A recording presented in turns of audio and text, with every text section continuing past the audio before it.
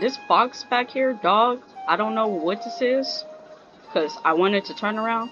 It's a whole entire mood right now. And if I may ask, when I was telling you two about Irminsul's ley lines, was what I described similar at all to what you saw while you were unconscious? That's correct.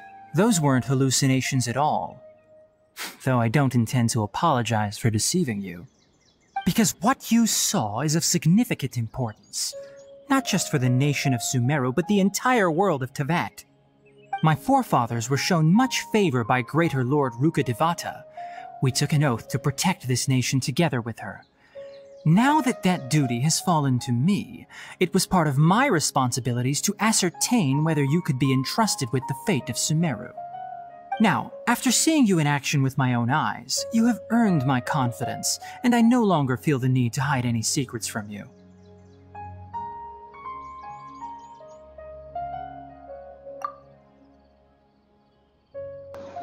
I'm not gonna hold you. I'm getting more and more confused hanging out with Tighnari. It's just like I'm trying to get to know you.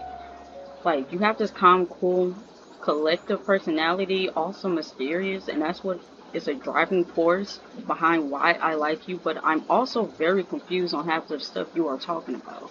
And then as soon as we, in my opinion, as soon as we get to the root of half the stories you say, oh, I don't remember and oh, I don't feel like talking about it, and oh, uh, uh. it's like, bruh, are we ever going to go back and check up on her?